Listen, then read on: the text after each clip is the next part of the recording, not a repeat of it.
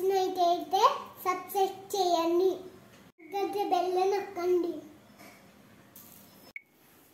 శ్రీ గురుభ్యో నమ. హరి ఓం జ్ఞానానందమహ్యం దేవం నిర్మలస్ఫ్రీకాకృతిం ఆధారం సర్వవిద్యానాం హ్యగ్రీవం వాస్మహే श्रीलक्ष्मीवल्लभारम्भामिकनाम्निमध्यमां अस्मदाचार्यभ्रियन्तां वन्दे गुरुपरम्परां देवराजदयापात्रं देभक्त्याडघुनार्णवम् मृग्वादमुनिब्रह्माण्यं वन्दे श्रीयुगनामुनिम् व्यासं वसिष्ठनप्तारं सिक्ते भोत्रमकल्मषम्। परासरात्मजं वन्दे सुखदातं तपोनिधिम्।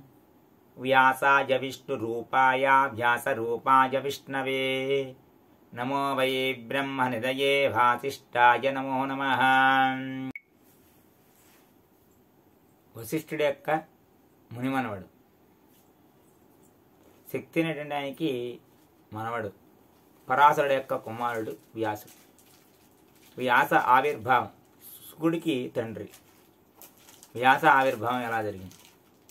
వేళ ఆషాఢ పౌర్ణమి వ్యాస పౌర్ణమి గురు పౌర్ణమి అనేటువంటి పేర్లు కలిగి గురు ఆరాధన చేయబడుతున్నటువంటి వ్యాస పౌర్ణమి గురించి తెలియవచ్చు ఎందుకంటే వేళ గురువుని ఆరాధన చేయడం కోసం వ్యాస పౌర్ణమి ప్రధానంగా చెప్పబడుతుంది.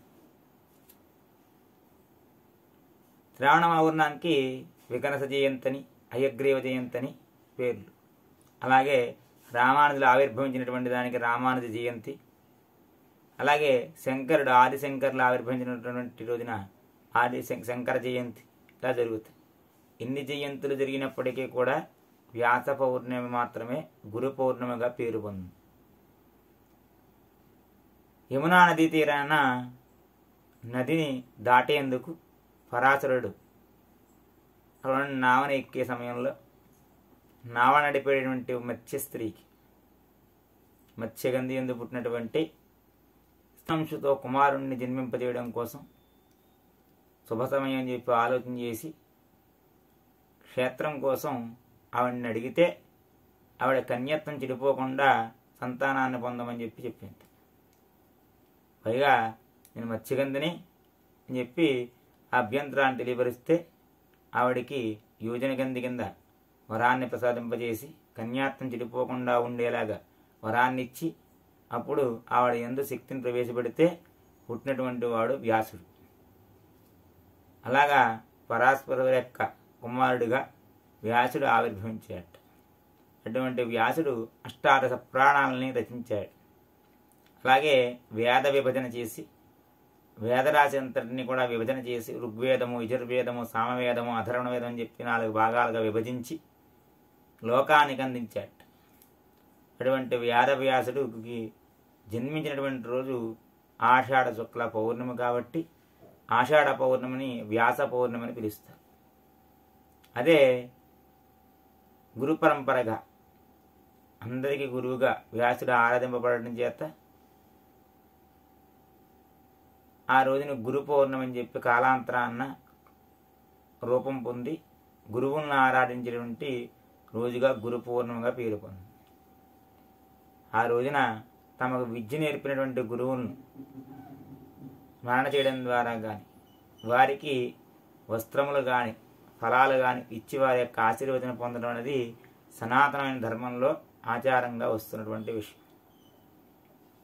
అలాగా వేదాధ్యయనం చేసినటువంటి వారందరూ కూడా వారి గురువుల్ని ఆ రోజున ఆరాధించడం ద్వారా వారి యొక్క అనుగ్రహాన్ని పొందడానికి గురు పౌర్ణంగా పేరు పొందింది. దానిలో భాగంగానే వారి వారి యొక్క ఆచారాలను బట్టి వారికి విద్య నేర్పినటువంటి గురువుల దగ్గరికి వెళ్ళి వాళ్ళ ఆశీర్వచన పొందడం జరుగుతుంది. అటువంటి ఈ వ్యాస పౌర్ణమికి గురు పౌర్ణమిని పేరు పొందడం ద్వారా లౌకికంగా వారి విద్యలు ఏవైతే ఉన్నాయో ఆ విద్యలను అభ్యసించడానికి గురువును ఆశ్రయించడం జరుగుతుంది. ఆ గురువును ఆశ్రయించిన తర్వాత వారి దగ్గర నుంచి విద్యను గ్రహించినందుకు ఆనాటి నుంచి వేదవ్యాసులు ఇచ్చినటువంటి ఈ వరకు ఉన్నటువంటి బ్రహ్మ విద్యను మనకు అందించినటువంటి గురువులకు నమస్కరించేటువంటి రోజు కాబట్టి అది గురు పౌర్ణమిగా పేరు పొందింది. చేత ఈ రోజున గురువులను ఆరాధించడం అనేది సనాతనమైనటువంటి ధర్మం. ఆ ధర్మంలో భాగంగా మనకి విద్య నేర్పిన గురువులందరినీ స్మరణ చేయడం జరుగుతుంది.